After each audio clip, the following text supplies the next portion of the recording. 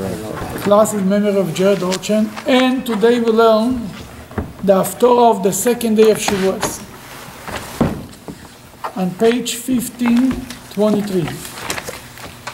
The Haftorah of the second day of Shavuos is from the book of Chavakuk, Abakuk in English. He, who is the prophet Chavakuk? What do you know about him? Uh, There's a lot that's not known about him. This is true. He was the the Elisha, son of the Shunammite woman. Some, yeah, the Talmud says that Habakkuk is the, you know the story with Elisha with the, who revived a child who died? That's why, why, why the rabbi says it was him. Habakkuk is from the expression chovek, lachvok, to hog. Elisha promised the mother that he will, she will hog a son. And then he came and he hogged them seven times, right? He lay down on them. That they say that Habakkuk is the child who was revived. Very good. When was Chava- the time, the time or period of time Hab- Habakkuk was alive? It's not clear. According to many commentaries, he lived a little bit before the destruction of the first temple. Then it doesn't work so much with, the, with Elisha because Elisha was much earlier than that, right? Yeah, Was he Northern Kingdom or Southern Kingdom or both, if we know? I think it was already after the kingdoms, Yeah. only one kingdom available. Now, the book of Habakkuk is three chapters. That's it. Three chapters. There is Treyasar, there is the, the, a, bo- a group of, of prophets in one book who are very, uh, very small prophets, very small books there. For who else is in this book? Like 12 books and Amos, Amos, Hosea, Hosea, Obadiah, yeah, Obadiah, uh, Nahum, Nahum, um, Micha, Malachi, Malachi, uh, Zechariah, Haggai. Chag Esraya, Malachi, yeah. Uh, there are 12 of them. Yeah. Jonah, right? Yeah, Jonah is in this book, yes, yes, yes. Then, what is Habakkuk saying? What he wants? What is Habakkuk's message? Here we're going to read chapter 3, the last chapter in the book of Habakkuk. What all is he saying in, in book 1 and book 2? Eh, in chapter 1 and chapter 2? First of all, the Medrash says, the Talmud says it. Then um, Moses said to, to be a Jew, you have to have 630 mitzvahs. Then came King David and said that there is 11 things you can do, and that, will keep you as a Jew. He took chapter, I think, 15 in the book of Psalms, and, he, and we, say that he says uh, uh, to be honest and to be, to be a straight person, and all the mitzvahs you man and man, that will, that will keep you a, a straight person. Then the, the, the, the, the Talmud goes to other prophets who said it, takes three things to be, to be the, that's the main thing to be a Jew. And then finally come to Habakkuk, Bo Habakkuk ve'emidon alachas. Habakkuk says it's all about one thing. Tzaddik be'emunato. A tzaddik will live by his faith. Faith in God. Believe in God, trust in God. That's all it's all about. That's how Habakkuk put it. Habakkuk in his first chapter is complaining to God. What's going on in the world? Why bad thing happens to good people? We think we invented the question. Rabbi Kushner wrote the book Why Bad Things Happen to Good People. I have some news for you. A little before him, somebody asked the question. And before Habakkuk also people asked the question. Moses asked the question. And Abraham asked the question, Ashafet kol haaretz the judge of the, of the earth, of the universe will not serve justice? This question is an old question. Habakkuk was really frustrated and he asked the question, why is it you see, you see is such evil going on in the world and you do nothing? What was the answer? Don't, don't say that. The answer, Habakkuk says, I'm not going, I'm not leaving, sorry, until I get a good answer. He stood, he said, I'm standing in one place and I'm not moving. God, give me an answer. God gave him an answer. The answer was eventually it's going to be everything understood and everything in the good will prevail. But wait, if it tarries, or tarry, you know, if it if it's not if it's it delays, wait for it. And which prayer we say this? If it delays, you should wait for him. Not the Amida. Not the Amida. It's not in the Chabad prayer book. But it's there.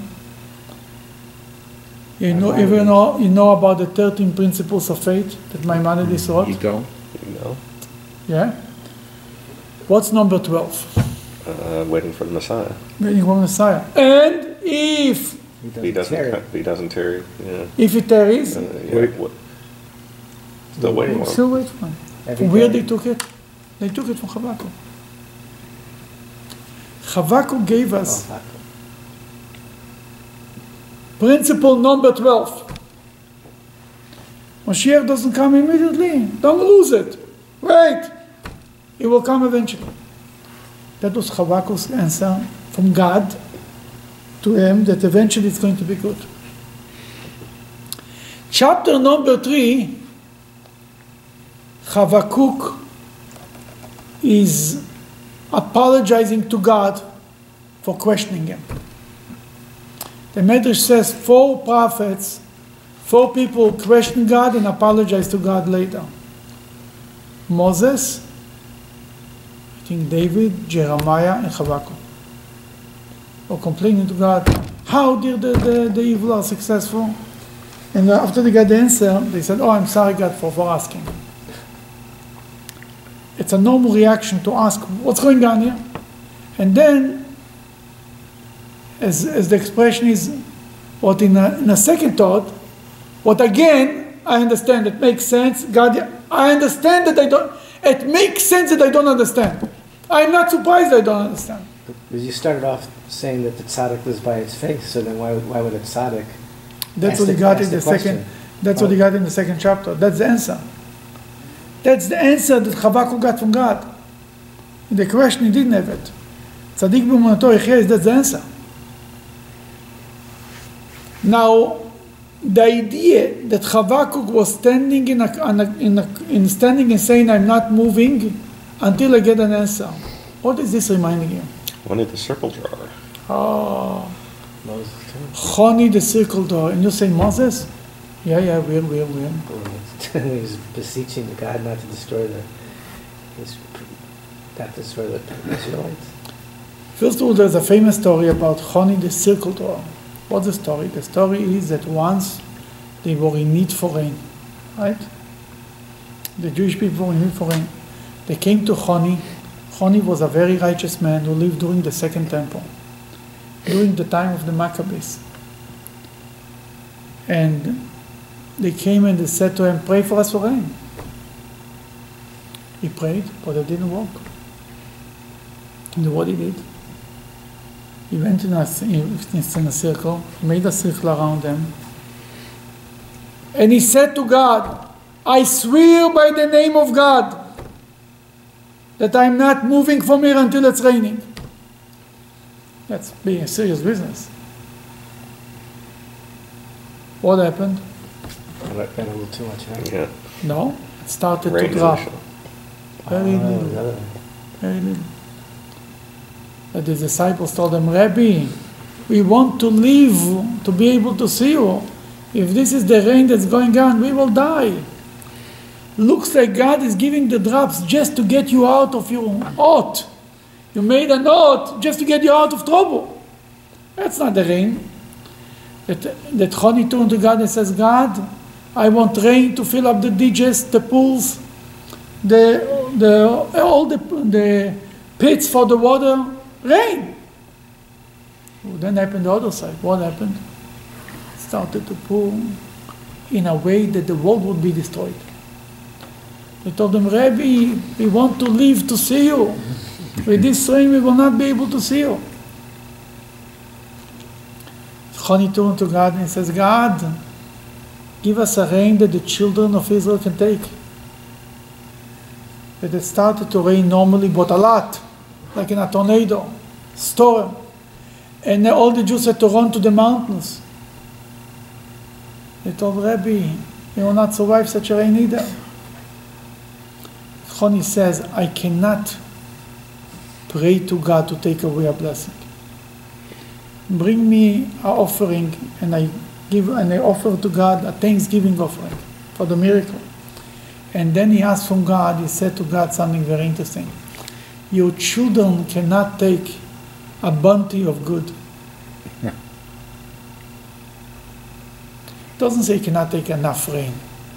There's too much good. Good, not rain. Good. It's not, it's not so good.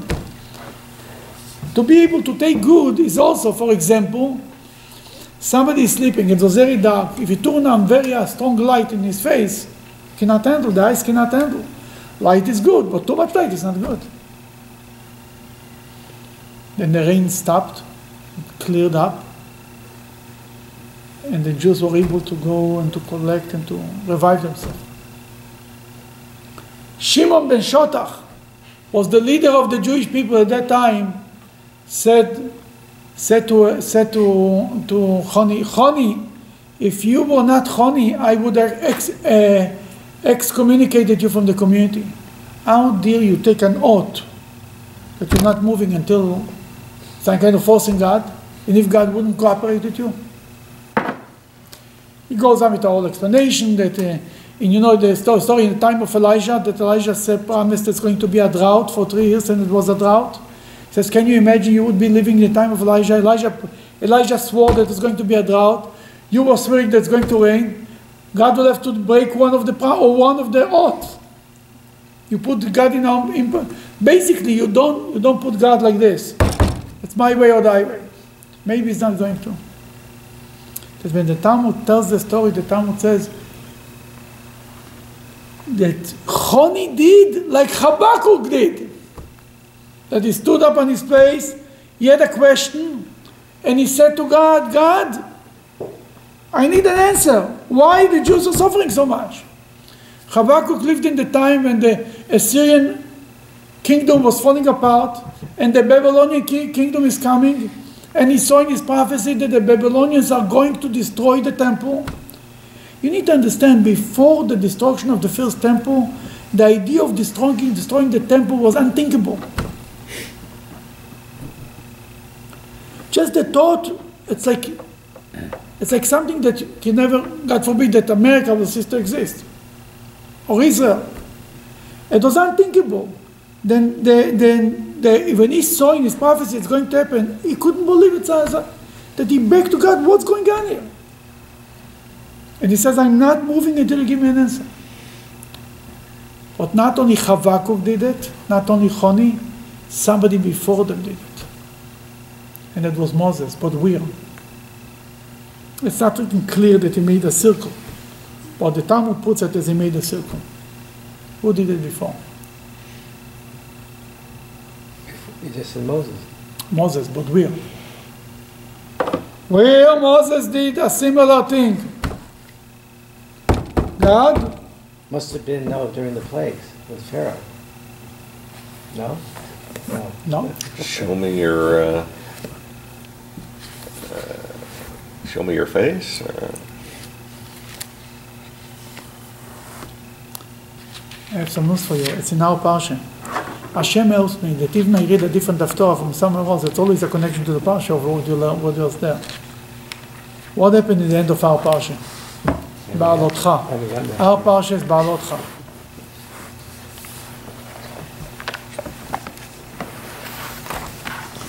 On page 937.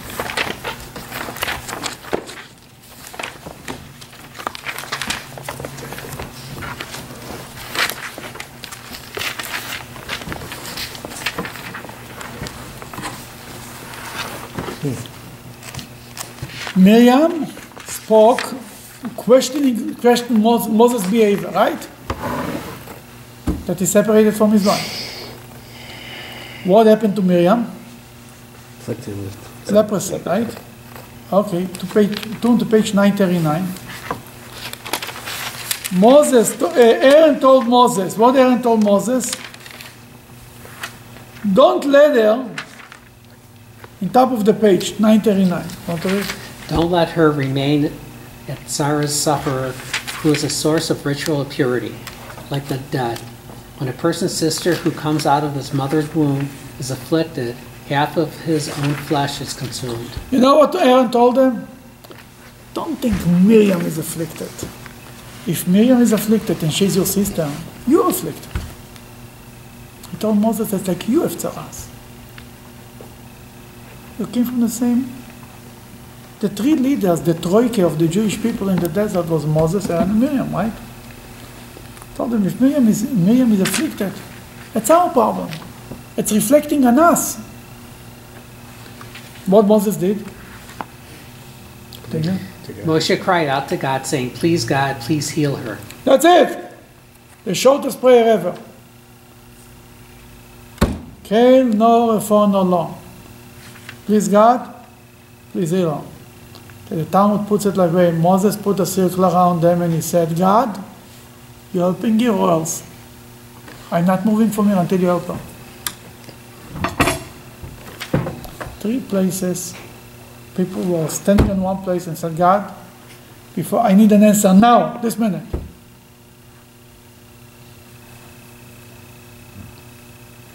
Why a circle? What's the idea about a circle? Maybe put a triangle. Put a box. like a- Why a circle? What's unique about a circle? No beginning, no end. No beginning, no end. Beautiful. The Rebbe said something very interesting. What means no beginning? Everything is equal. Nothing is more, nothing is less. It's a Jew that approaches God that every mitzvah is equally important to him. For example, most of us, Yom Kippur is much more important than regular Shabbos. The regular Shabbos is more important than regular day. But Yom Kippur, everybody goes to shul. The shul is much more full than Yom Kippur than regular Shabbos, right? Brit Milah, bris, everybody is doing the mitzvah. Other mitzvahs, no, but mitzvahs a little less, uh, Jewish wedding a little less. uh, Not every mitzvahs are equally. But there are some type of Jews, tzaddikim, if God asked me to do it, doesn't make a difference what it is. I do it. That means a Jew of Mesiras Nefesh, Jews of was ready for self-sacrifice. This type of a Jew gets a treatment. It's all measure for measure. As we're going to learn in the Haftorah, by Moide Doretz, Mido Keneged Mido, measure for measure. If I'm all the way for God, God is all the way for me. If I make, if I say this is more important, God also says this is less important, is more important. He's doing what I do. I say, oh no, this request I'll put here later, this you can do now. God also says this request came from him, right, later. That's it. Then uh, it's written as the Mishnah in Pirkei Avot says, if you make His will your will, He will make your will His will. Simple as that. There is a certain people who say, or very dedicated, even in the world, like to a president or leader, they say, whatever he wants goes. Doesn't make a difference. Whatever your will is my will. I saw marriage. Woman said, I'm, I made a decision in my marriage to, to do everything my husband wants. Simple as that. Then, then uh, this is the, the circle. Three people Moses, Habakkuk, and Chonia Me'agel are all on the same wavelength. Then we cannot put a circle and say to God, God, I swear, if not, I'm not moving. But we can, what we could do is, the Rebbe says we could insist.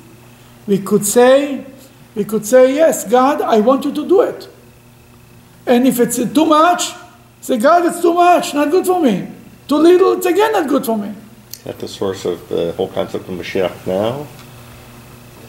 The Rebbe spoke about it. What do you think I came up with this myself? the Rebbe said that we learn from Choni Ameagelis that you can re- require from God, yes. You can demand from God what you need.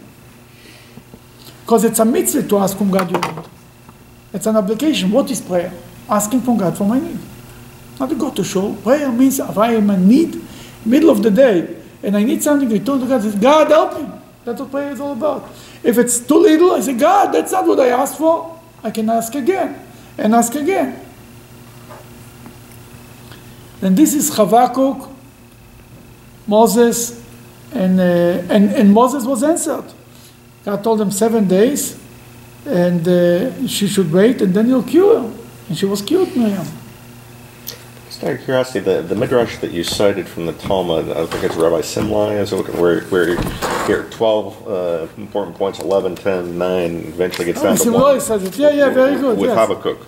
Yeah, yeah, yeah. Isn't that just the opposite of what you just said, though, in terms of everything being equal? Isn't that the, the So the source of? question is, what is what is the drive for everything? It's not so much that it's not equal. If you have faith, you do everything. That's the point. What it stands on. You see, when we meet a, a new person who never was connected to Judaism, cannot and they seek the book. Literally, throwing the book. I think from there it's coming the expression, throwing the book, throwing the Bible on you, because it's too heavy. You have to tell them where to start. What's, what's, what's the most important piece? That we say, start with this. If you start with this, this is the gate to, go, to move forward. But eventually, you need to understand what you tell a person what's the basics and what's the ultimate. The basics is tzadik be'emunato yichyeh, faith. The ultimate is that everything should be equal. You understand what I'm saying? Everything should be equal is the ultimate. That you should, every mitzvah from God should be equally important to you. Oh, well, that's- The idea is God's will. Every God's will. commandment, every request of God, if it's a small request or a big request, if God is the one who asks me for it, then I have to do it. From this point of view, it doesn't make a difference what I disobey. If I disobey the smallest things, if I disobey the king's rule, cause- the king is correct, I'm in trouble. That's also, I I might not get a big punishment for it, but the idea that I, I slapped it in his face, it's a slap in his face. He asked me to do something and I didn't do it. You want to turn a little bit the accommodation, just a drop. I think that's also in the Pirkei Avot, that uh, you don't know which, you don't know what mitzvahs are more That's the important. same idea, yes, Important, yes, you know. yes, yes, yes. They're all important, I guess. No, when you say you don't know what's more important, what's less important, that you apply that there is more important and less important. And still you should do all of them. Because there is more important, less important, but from the point of view that it's all the will of God, then it doesn't make a difference. You understand what I'm saying? But there is a hierarchy nonetheless. That's what I'm saying. And the gravity of the mitzvah, so to speak, Sure. there is a, there is hierarchy. But from the point of view that God asked me to do, it doesn't really make a difference. If I ask my child to bring me a cup of water, or not to take drugs, from the point of view, what's more important? For sure, the drugs is more important. But from the point of view that I asked them to do something, it doesn't really make a difference. From the a mitzvah for honoring your father and mother, it doesn't make a difference what the mitzvah is. You have to honor your father and mother. If it's a of water or doing the worst thing. But whether your father will be more upset or punish you more or less, that for sure will be a difference. You understand what I'm saying? It's not a contradiction. That's how you look at it. Mm-hmm. The consequences are different, but the act of not listening is the same. Or listening. Now, the, the starts the last verse of chapter 2 and then chapter 3. 1523. God, although he may not see, for he is in his holy heavenly abode. Nevertheless, the entire earth is silent in trepidation before him, for he rules over it. We might not be seen, so to speak. Habakkuk says I cannot see God, but we feel Him everywhere. Everybody is afraid of Him. This is, by the way, Hashem Beichal Kodsho As Mipanav Kol Haaretz. In many synagogues, they use it as the verse that they put in top of the ark. This is the, the verse they put. We put here a much friendlier verse. It's also coming from Haftorah, the beginning of Haftorah. It's the Haftorah of Parshat Toldot. The end of the Haftorah, actually. Uh, no, no, the Haftorah, the beginning. The beginning. On page 1384. 1384. from Malachi. This is from, they bring from Habakkuk. We take Malachi. Malachi says in number two, I loved you, says God. That's what we put. That's the question. What kind of a synagogue is that? I love you, says God. Or God is in his abode, the whole world is scared of him. What do we say? Love? But but this is love in the past tense. I know, I know. That's okay, he still loves us. It- it- it- Did you take it directly, or did you change the, No, he took it as it is, and we don't change the verses. That's what it just is. The Baal Shem Tov, the Maggid of Mezrich, the first Torah they did from his Rebbe, the Baal Shem Tov, was Ahavti Eschem Omar Hashem. You have to love another Jew. Love whoever God loves. That was the first Torah that the Maggid of Mezrich, the disciple of Hashem Tov, heard from his Rebbe, the Baal Shem Tov, when he came to him. And the Maggid was a huge scholar that the Baal Shem Tov told him the most simple word. My friend, you want to know what it's all about? There ha- came Habakkuk, he put it in one thing. Love That's your what, fellow that's what his father told him. The Baal Shem Tov. The- No, that's not what the father, his father told him. What he said, father told him. His father told him, fear only from God. Fear only God. Love every Jew. Father There's two told him, things.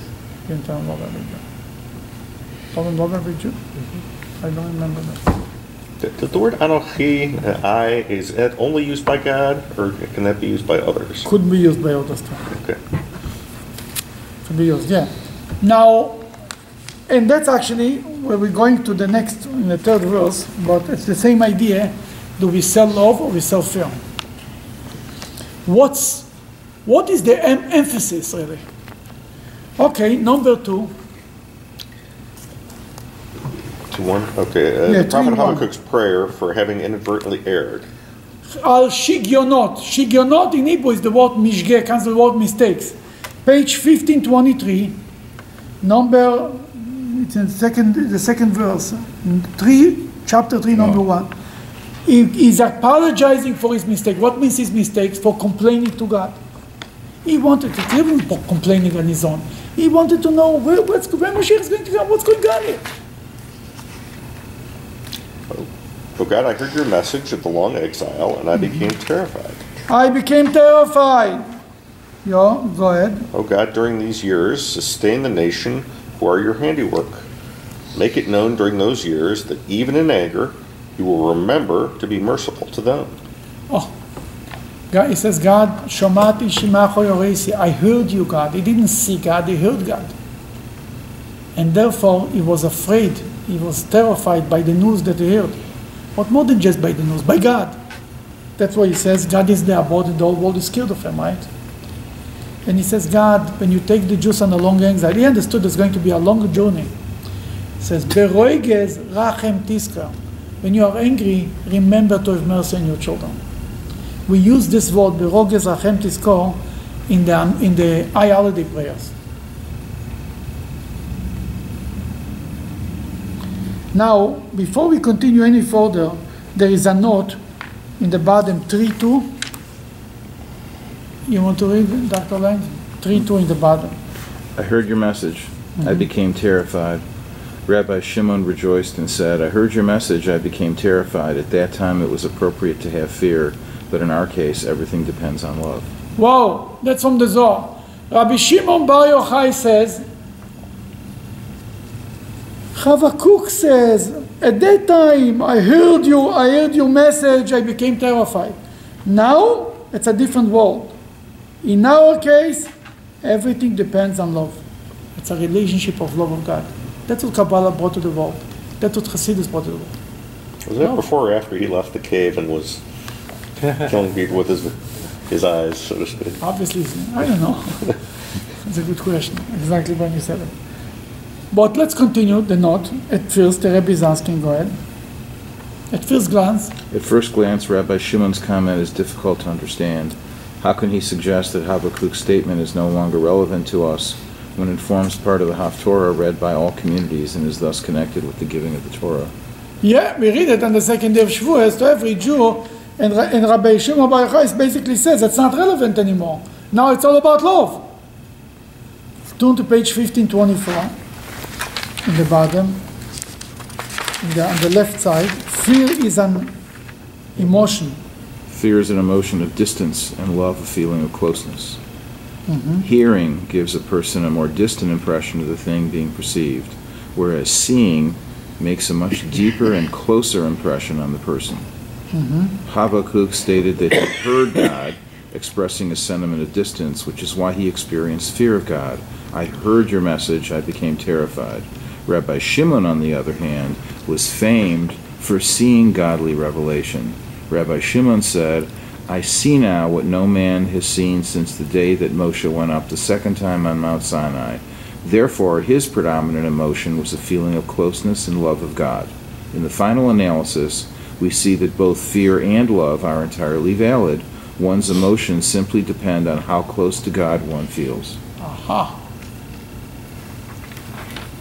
There is fear of God. There is love of God. If you hear God, if you're distant from God, you have a fear of God.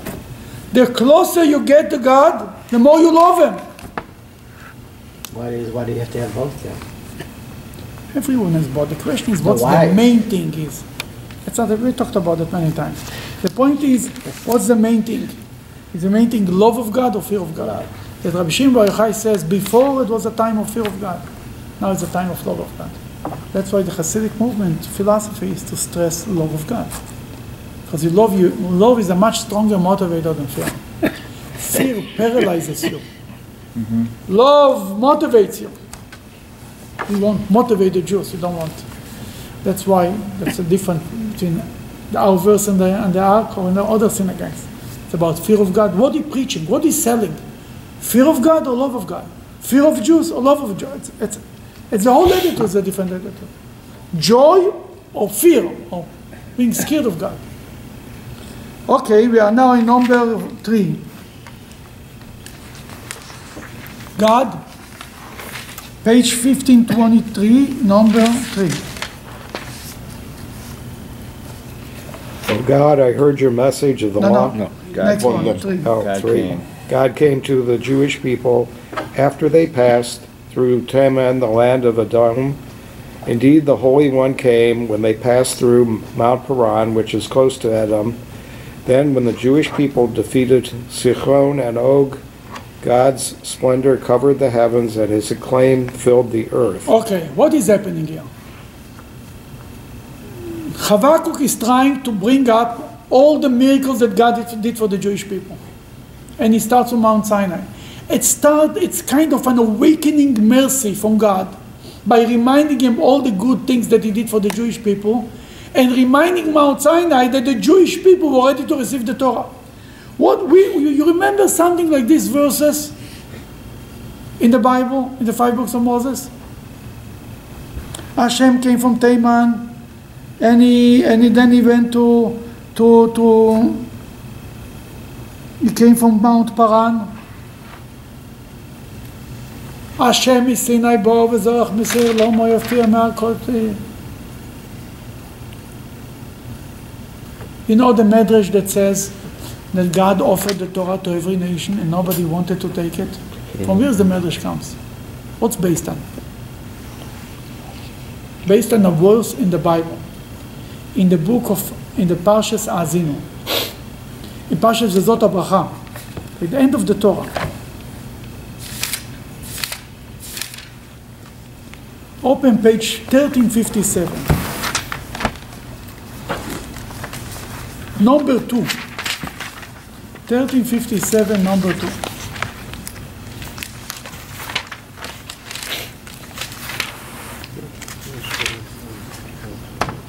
Thirteen fifty-seven.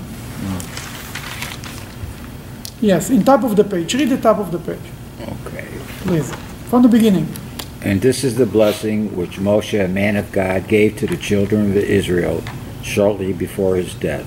Mm-hmm. He said, he first said his words of praise about God.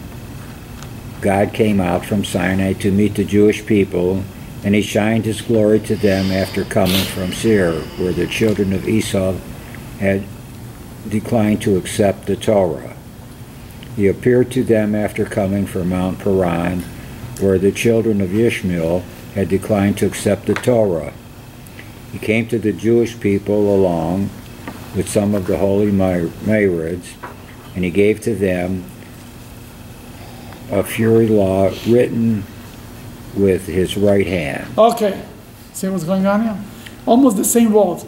Came from Paran, came from mm-hmm, this. Mm-hmm. The message is nobody else wanted to receive the Torah.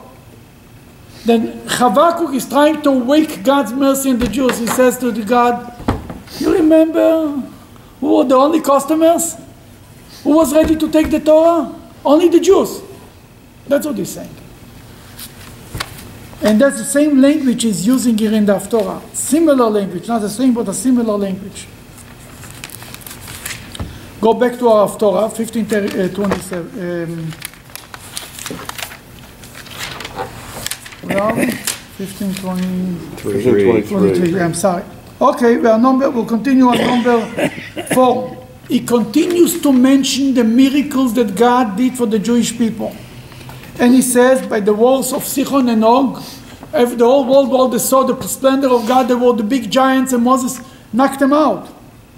Number four, the glow. The glow of the pillar of fire which accompanied the Jewish people at night was as light as day. They were empowered with the might of his hand, and there with them were the tablets which had been previously concealed on high and were inside the ark of his strength. In front of the ark, pestilence loomed to destroy the Canaanites, and when the ark came, fiery coals came out to annihilate them. Okay. Then what is he saying? He says that he mentioned the old thing that God sent the clouds of glory and they cleaned up the place. And the Ark of the Covenant with the two tablets were eaten inside, were bringing, they were, they were fighting for the Jewish people the war. The Jews did not fight the war. But the, the word you need to understand, it's poetry. This chapter is poetry. There, in poetry, there is a lot of parentheses, what it means. You understand what I'm saying? I remember every time I used to read the Haftorah from the second day of Shavuos, we couldn't make sense of it. Without the, without the commentary, the, in English, they put in the in parentheses the commentary, you wouldn't make, be able to make sense at all about it. Go ahead, number, number six. When the ark would stop, the land was conquered, later to be measured out to the tribes. When the ark looked at the land and the nations were displaced. The ancient mountains of Canaanite aristocracy were shattered, eternal hills were humbled, because those that ran the ways of the world belonged to God. Basically, the Jewish people conquered the world with the power of the ark. That's what he's really saying. Says it's a nice word, but that's one. Now, there is many for ma- ma- every verse. There is other commentaries, but that's the, the basic commentary.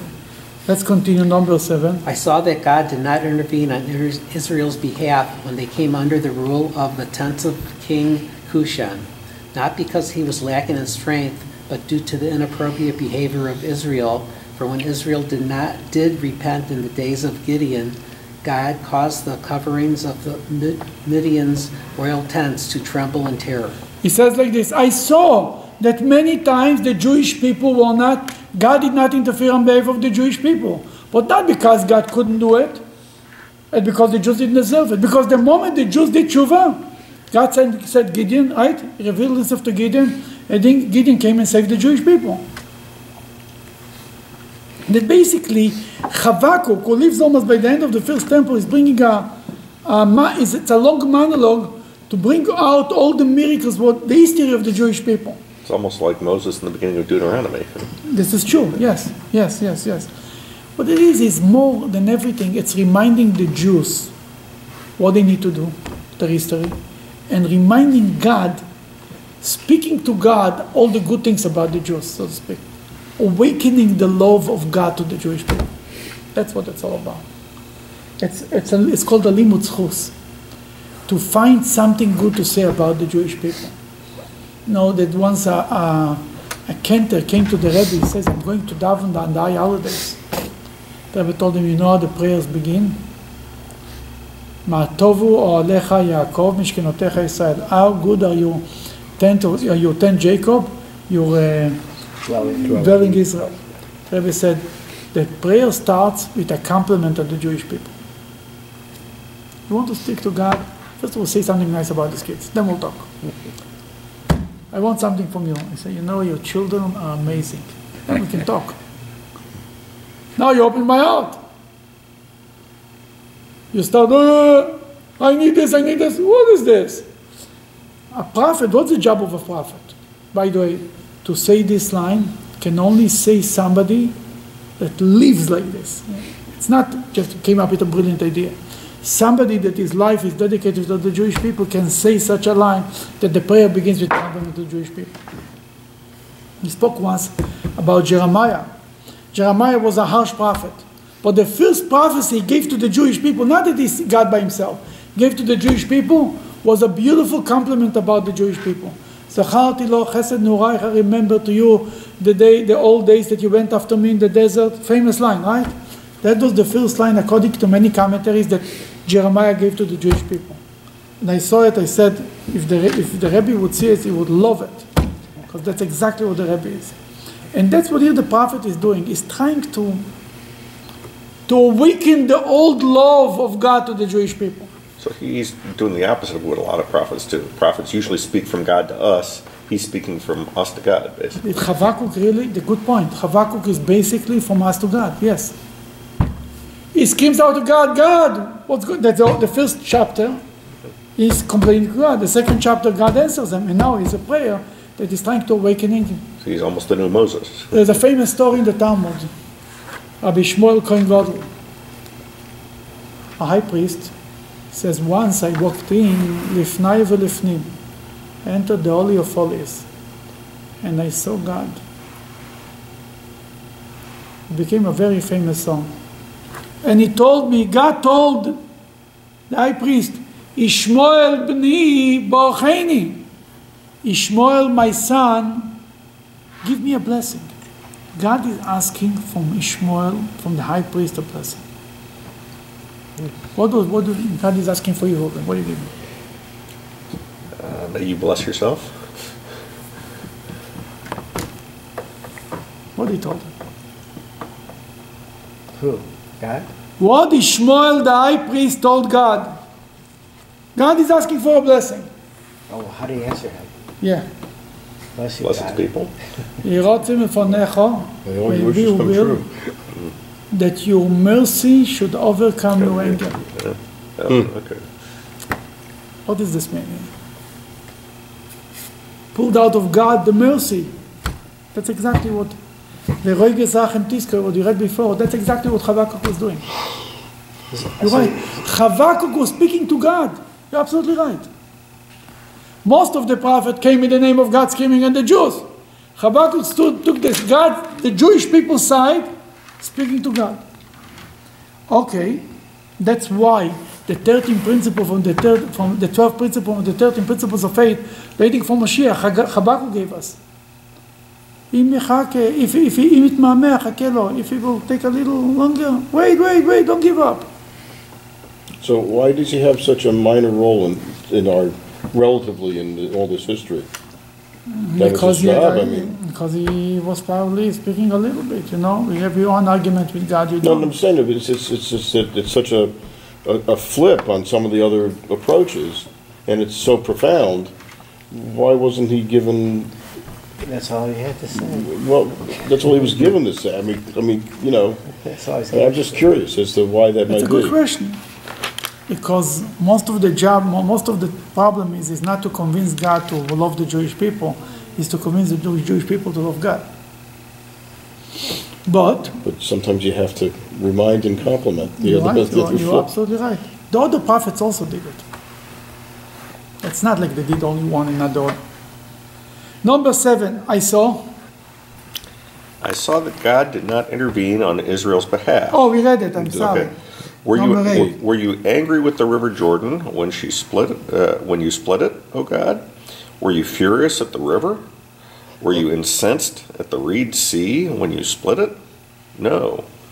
You split the water so that you could ride your horses uh, with your chariot of salvation to redeem the Jewish people.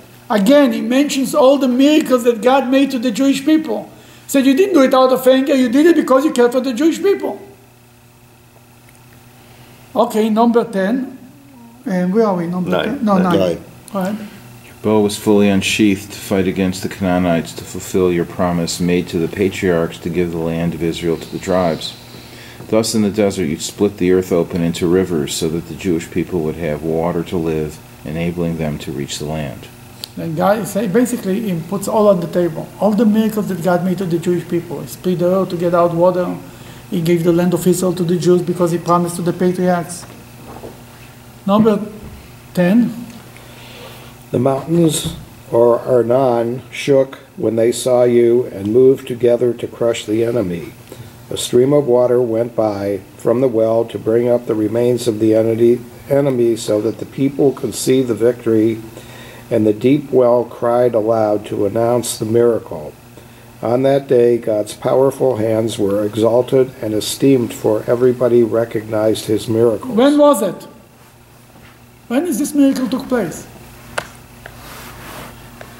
When was that? I know they were in the valley, the two mm-hmm, mountains mm-hmm, mm-hmm, came together. When was it? Yeah. When was it?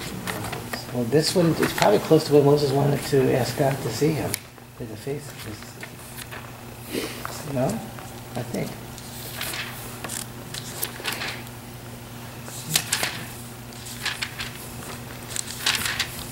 It's um,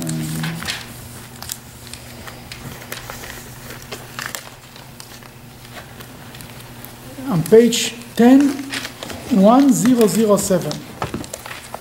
1005 actually.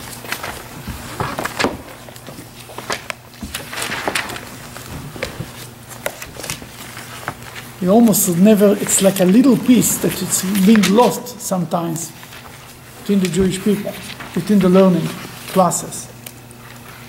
For the journey, the mira- miracles encamped at Arnon. Page 1005. You see it? Mm-hmm. The new chap, the new No, paragraph. Oh, further journey to mir- miraculous Yes, encampment. yes, yes, yes, yes. It's you. Go ahead. It's Bob. The children, oh, I'm sorry, what, where are we? Right there. Oh, the children of Israel traveled and they camped at Ovos. They traveled from Ovos and camped in Ayim Havarim. don't just move on. Yeah, don't worry about the names. Okay, In the wilderness between Moab and the land of the Amorites. all right. Okay, And from From there there they they. traveled and they encamped on the other side of the Okay, Arnon. number 13, from there they, they, they Okay. Traveled. Which Continue, is in a desert extending from the Amorite border. At Arnon was the Moabite border between Moab and the Amorites. Okay, turn the page. About this miraculous encampment, it will be told when God's wars are recounted. He gave a gift of miracles at the Sea of Reeds, and they were matched by the miracles of the valleys of Ar- Arnon. The blood of the Amorites was spilling into the valleys when the mountains actually moved, crushing the Amorites. And it turned to settle at Ar, leaving You know, we'll stop right here and we'll read the classic question. What miracle occurred at Arnon? See it Uh, on the, cal- on the, the- it's on, it's on page 1006, classic question, the left column. Go This is ahead. Rashi, right? Yes. The mountains were high and the valley between them was deep and narrow. The mountains were so close to each other that a person standing on the mountain on one side of the valley could speak to his friend standing on the mountain on the other side.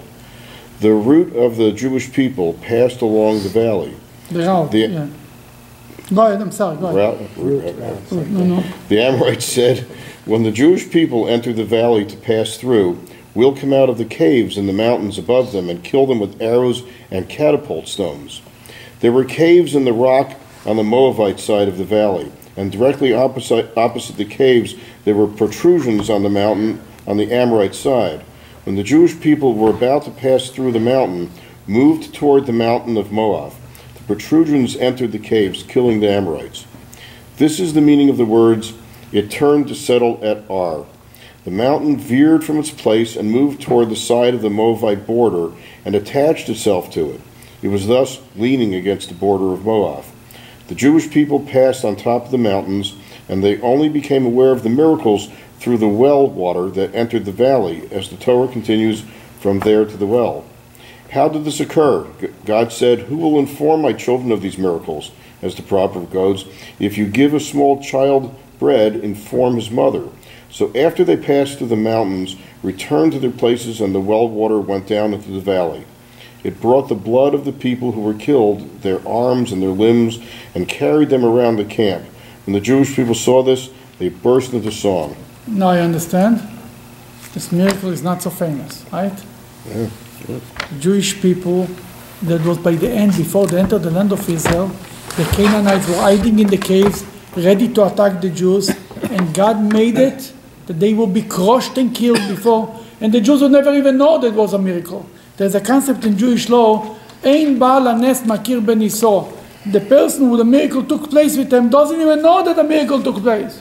He goes on with life, like nothing happened. He doesn't know that behind him was a car, was a, almost almost killed him, and God saved him in a split of a second.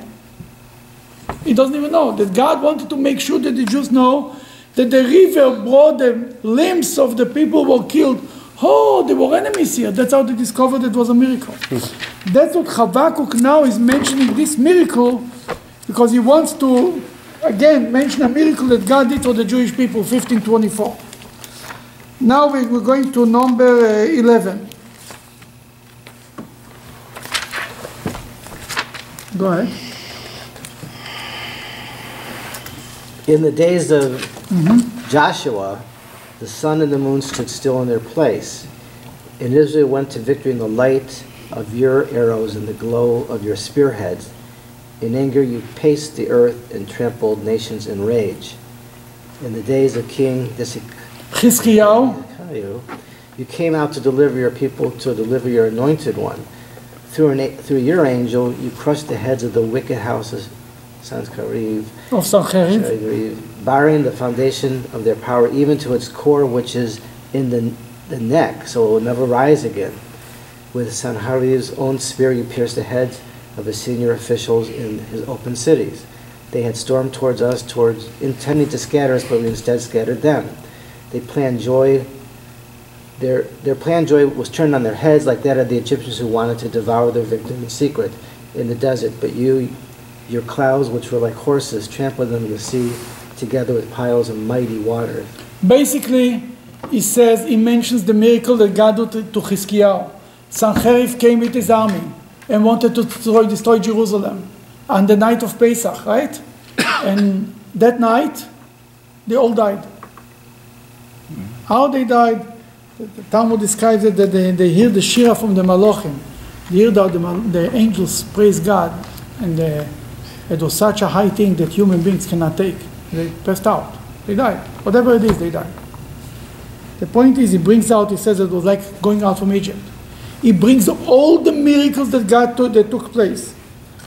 I heard Something that caused my heart within my abdomen to tremble. My lips quivered at the news. Decay entered my bones, and I shuddered whenever I stood. I heard that when I will come to the land of Israel, which was supposed to be during a time of rest, it will turn to a day of affliction to come up against a people of troops, Gog, he was he heard about the war of Gog and Magog. The war will come before Moshiach comes, and he was very worried, Habakkuk. He says, My body is decaying. I'm scared, I'm trembling. But he says, at, At that time, Israel's military might, will still be like a fig tree that has not blossomed with no fruit growth on the vines, like a lean olive produce, like fields that produce no harvest. In the wake of the Babylonian exile, Israel will still be small in number, like flocks cut off from the pen, with no cattle in the stalls, so how will they stand against mighty Gog? That's why he's so trembling. It says, How will the Jews survive the Babylonian army? They'll never make it. That's why he was so scared and so trembling. Not for himself, not because he heard God, because he heard the news. Is when he's using the term Gog here, is he referring to Gog and Magog in the future, or is he referring to the Babylonians, or both? It could, it could be both. I mean, Babylonian at that time, if Moshiach would come, that's, that Babylonian would be Gog and Magog. Gog and Magog means a strong king, with a strong army, strong nation, come against the Jewish people. Could be Gog and Magog, could be Hitler, could be, could be Syria, could be anybody. You understand what I'm saying? But the they- name is only a name. But, but this exile is, is necessary to keep the, the Jewish people alive, too. Why? God's exile of the Jewish, because he's gonna, he goes with them. But they're not with an exile. Well, that that wasn't the case. Yet! Yet! Where's where's Number 18. 18. Where's 18? Yet I will rejoice. Where's 18? Oh, yet I uh, will rejoice that God will help. I will be joyful at the power of uh, the God of my salvation. While we are small, God Almighty will be for us like a giant army. He will make our feet swift like the deer's and lead us upon the hilltops to catch the enemy. This song should be given to the Levite conductor of the temple music, who should play it with my designated melody. That means to say, in the end of the day, Habakkuk says, I know all the big bad news, I'll still rejoice by God. Because ultimately, it's going to work out. Eh, ultimately, it's going to work out. Wow. So he lives by